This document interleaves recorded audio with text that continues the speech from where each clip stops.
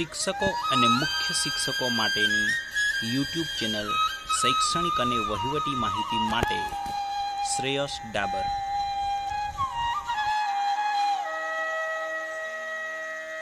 નમસ્કાર મિત્રો. આ વર્ષ દરમિયાન ધોરણ દસની અંદર જે માસ પ્રમોશન આપવાની વાત થઈ છે એ કઈ રીતે છે? તો આપણે એના નિયમોનો પરિપત્ર થઈ ગયો છે, તમને બધાને મળી ચૂક્યો હશે.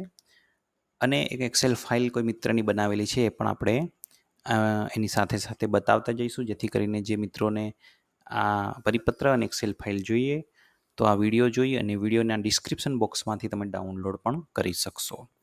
સ્ટાર્ટ કરીએ. મિત્રો, દસમા ધોરણની જે બોર્ડની પરીક્ષા છે કોરોનાને લીધે લઈ શક્યા નથી. અને એના કારણે જે સરકારે માસ પ્રમોશન આપવા માટેની એક પ્રવિધિ તૈયાર કરી છે, કઈ રીતે એ આપણે જોઈએ. એમાં એ, બી, સી અને ડી ચાર પ્રકાર છે. અને ભાગ એ અને ભાગ એક અને બે, એ રીતના બે ભાગ પણ છે. એ પણ આપણે જોઈશું. ઇન્ટરનલ માર્કિંગ ઓનલાઈન કરવાના છે વીસ ગુણ અને એંસી ગુણ જે આપણે આ રીતે તૈયાર કરીશું દરેક વિષયના, એ પણ ઓનલાઈન એન્ટ્રી એપ્લિકેશનમાં કરવાની છે. તો સૌપ્રથમ વિદ્યાર્થીના ધોરણ નવના માર્ક પ્રથમ અને દ્વિતીય કસોટીના જે પચાસ પચાસ ગુણના પેપર હતા, એમાંથી ચાલીસ ટકામાં કન્વર્ટ કરવાના છે. અને વીસ ગુણમાંથી એ મૂકવાના છે. આપણે એક્સેલ ફાઇલમાં જોઈએ. દાખલા તરીકે આ એક વિદ્યાર્થી છે. તો આ ભાગ એ છે. એમાં વીસ ગુણમાંથી એના મૂકવાના છે. એની જે નોટબુક છે વગેરે, જે કઈ પ્રક્રિયા આખા વર્ષ દરમિયાન જે કંઈ કર્યું હોય તો એ આંતરિક ગુણો એમાંથી મૂકાશે. ત્યાર પછી જે આપણે વાત કરી રહ્યા છે, ધોરણ નવ. પ્રથમ કસોટી એના ચાલીસ ટકા. પચાસ ગુણનું જે પેપર હતું એમાંથી એના કેટલા આવેલા છે? વીસ આવેલા છે તો એના ચાલીસ ટકા આઠ. એવી રીતે દ્વિતીય કસોટીમાં એના વીસ છે તો એના પણ આઠ. આપણે એ રીતે સમજીશું તમારે સમજી લેવાનું કેટલા ટકામાં કન્વર્ટ કર્યા છે તે. ત્યાર પછી ધોરણ દસની અંદર અહીં કીધું છે સીમાં જે ઓગણીસ ત્રણથી સત્તાવીસ ત્રણ દરમિયાન ઓનલાઈન પરીક્ષા લીધેલ છે. પ્રથમ સામયિક કસોટી કે ઓફલાઈન લીધેલ છે તે. એંસી ગુણની હતી. એમાં એંસી ગુણમાંથી જે ગુણ એણે મેળવ્યા છે એના સાડત્રીસ પોઈન્ટ પાંચમાં કન્વર્ટ કરવાના છે. મહત્તમ ત્રીસ ગુણ થશે. એ ખાનું અહીંયા છે, તમે જોઈ શકો છો. તો વીસ ગુણ મેળવ્યા, એણે તો એના કન્વર્ટ કર્યા છે, સાડત્રીસ પોઈન્ટ પાંચમાં એ આઠ આવે છે. એટલે આટલું કર્યા બાદ એકમ કસોટીની વાત છે, આપણે અહીં જોઈએ તો ધોરણ દસની એકમ કસોટી કુલ ગુણ પચીસની છે. એમાંથી મેળવેલ ગુણને ચાલીસ ટકામાં રૂપાંતરિત કરવાના છે, એટલે દસ ગુણ એના થશે. આમ કરીને ટોટલ એંસી ગુણ થાય છે. તો એ એકમ કસોટીઓ ચાર વખત લેવામાં આવેલી હતી, તો એની અંદરથી મહત્તમ એણે જે બે કસોટીમાં માર્ક મેળવ્યા હોય તે અહીંયા લખવાના છે. વધુમાં વધુ માર્કવાળી બે કસોટીઓના માર્ક અહીંયા લખવાના અને એની એવરેજ એટલે કે પંદર અને વીસ આવ્યા હોય તો પંદર વત્તા વીસ ભાગ્યા બે કરવાના. અને એવરેજ જે આવે તે અહીંયા લખવાના, એના ચાલીસ ટકા કન્વર્ટ થશે.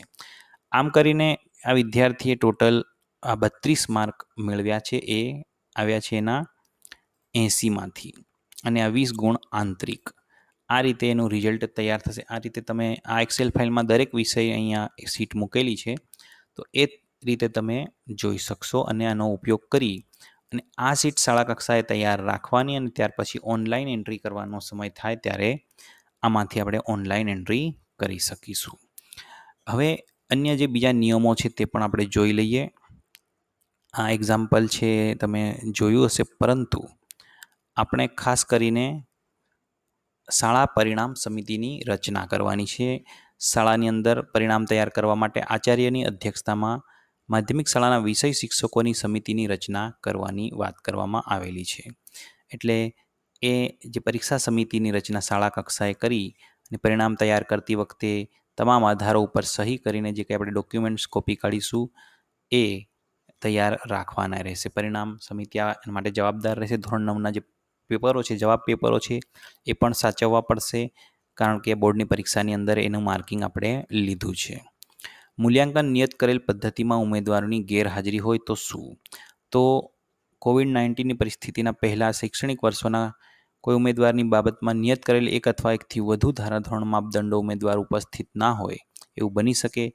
આવા કિસ્સામાં માસ પ્રમોશનથી જાહેર કરવાનો હોય, ખૂટતા ગુણની તૂટ ક્ષમ્ય કરીને પાસ કરવામાં આવશે. એટલે બોર્ડ દ્વારા જેટલા પણ માર્ક આવ્યા હોય, પણ એમાં બોર્ડ ક્ષમ્ય ગણીને એને પાસ કરી દેશે. એના ઉદાહરણ અહીંયા આગળ બતાવેલા છે. એ બી સી ડી આપણે જે માપદંડો જોયા એ અને બી એટલે ધોરણ નવના માર્ક સી એટલે ધોરણ દસના માર્ક અને ડી એટલે એકમ કસોટીના. એમાંથી ઉમેદવાર ગેરહાજર હોય તો શૂન્ય ગુણ એમાં મૂકી દેવાના છે. એવું સ્પષ્ટ અહીંયા આગળ બતાવેલું છે. એટલે એમાં આપણે કોઈ ચિંતા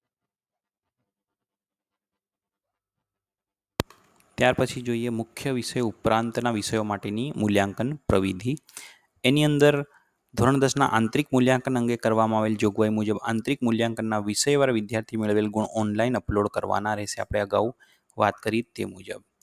ત્યાર પછી માહિતી અપલોડ કરવાની પ્રક્રિયા જે છે, પોર્ટલ ઉપર દરેક નિયમિત ઉમેદવારો માટે નિયત કરેલી કાર્ય પદ્ધતિને અનુસરી શાળા પરિણામ સમિતિ દ્વારા મંજૂર કર્યા મુજબના વિષયવાર ગુણ મુજબનું પરિણામ અપલોડ કરવાનું રહેશે. આચાર્ય અંતિમ તારીખ સુધી કોઈ પણ સમયે સુધારા વધારા કરી શકશે. પણ અંતિમ તારીખ બાદ કોઈ સુધારા થઈ શકશે નહીં. આ ગ્રેડિંગ પદ્ધતિ પણ અહીં આપેલી છે. કેટલા એ માર્ક્સ એ ગ્રેડ છે. આ સ્ક્રીનશોટ પણ તમે લઈ શકશો. પરિપત્ર પણ ડાઉનલોડ કરી શકશો. હવે આધારોની જાળવણીનું શું છે? તો ધોરણ દસના પરિણામ તૈયાર કરવાની રેકોર્ડ વિશ્વસનીયતા અને જાળવણી શાળાના આચાર્યની જવાબદારી છે. શાળા દ્વારા પરિણામ તૈયાર કરવા માટે ઉપયોગમાં લીધેલા આધારનો રેકોર્ડ પાંચ વર્ષ સુધી સાચવવાના છે. આ ખૂબ જ ઇમ્પોર્ટન્ટ એટલે કે ધોરણ નવના જવાબ પેપરો પણ સાચવવા પડશે. દરેક શાળાએ પરિણામના આધાર તરીકે લીધેલ તમામ આધાર ઉપર શાળા પરિણામ સમિતિના સભ્યોની સહી લેવાની, ઉક્ત આધારો શાળાના આચાર્યની કસ્ટડીમાં રાખવાના, જિલ્લા શિક્ષણાધિકારી જ્યારે માંગે ત્યારે વેરિફિકેશન માટે આપવા પડશે. રેકર્ડની ચકાસણીની વાત છે તો બોર્ડ દ્વારા ધોરણ દસના જે પરિણામ છે એ દસ્તાવેજો જિલ્લા શિક્ષણાધિકારી દ્વારા ખરાઈ કરવામાં આવશે. અને પ્રમાણિત નકલ જે પરિણામ છે એની જિલ્લા શિક્ષણાધિકારીને રજૂ કરવાની પણ વાત છે. સૂચનાનું જો ઉલ્લંઘન કરવામાં આવશે તો શાળાની નોંધણી રદ, શાળાને નાણાકીય દંડ અથવા વર્ષ એકવીસનું ધોરણ દસનું પરિણામ જ્યાં સુધી શાળા સ્પષ્ટતા અને પૂર્તતા ના થયા ત્યાં સુધી અટકાવવામાં આવશે. પૂરક પરીક્ષાની જોગવાઈ તો એમાં લાગુ પડશે નહીં કારણ કે માસ પ્રમોશનથી તમામ વિદ્યાર્થીઓ પાસ થઈ જશે. ગુણ ચકાસણીની પણ જોગવાઈ લાગુ પડતી નથી. દિવ્યાંગ વિદ્યાર્થીઓ ને પણ આની અંદર વીસ ટકા મુજબનું જે છે, વિગતો દર્શાવવાની રહેશે. વીસ ટકા કરતાં ઓછા ગુણ મેળવનાર વિદ્યાર્થીના કિસ્સામાં નિયમિત વિદ્યાર્થીઓ માટેની જોગવાઈ મુજબ તૂટક્ષમ્ય ગણવામાં આવશે. રિપોર્ટ કાર્ડ પરિણામપત્રકનું શું છે? તો ધોરણ દસના નિયમિત વિદ્યાર્થીઓને દર વર્ષની જેમ જ ગુણપત્રક અને પ્રમાણપત્ર બોર્ડ દ્વારા જ આપવામાં આવશે. ધોરણ અગિયારના પ્રવેશની વાત છે, તો શાળા પરિણામ સમિતિ દ્વારા જે પરિણામ તૈયાર થશે તે પરિણામના આધારે બોર્ડ દ્વારા ગુણપત્રક આપવામાં આવશે. તેના આધારે અગિયારમાં પ્રવેશ આપવા સમિતિ ભલામણ કરે છે. આનો સમય છે ચોથી તારીખ જૂનથી દસ તારીખ સુધી શાળાઓમાં તૈયાર કરવાનું, ત્યાર પછી આઠથી સત્તર દરમિયાન અપલોડ કરવાનું છે અને ઓનલાઈન પરિણામ જૂનના અંતિમ અઠવાડિયામાં આવશે. ગુણપત્રક જુલાઈના બીજા અઠવાડિયામાં મળી જશે. આ રીતે આખી પ્રક્રિયા થશે. જે કંઈ પ્રશ્ન હોય તો આપણે કમેન્ટ બોક્સમાં લખીશું, જેથી એના ઉપર આપણે ચર્ચા કરી શકીએ. થેન્ક યુ વેરી મચ અહીં આપણે આ વીડિયો પૂર્ણ કરીએ છીએ. શિક્ષકો અને મુખ્ય શિક્ષકો માટેની યુટ્યુબ ચેનલ શૈક્ષણિક અને વહીવટી માહિતી માટે શ્રેયસ ડાબર.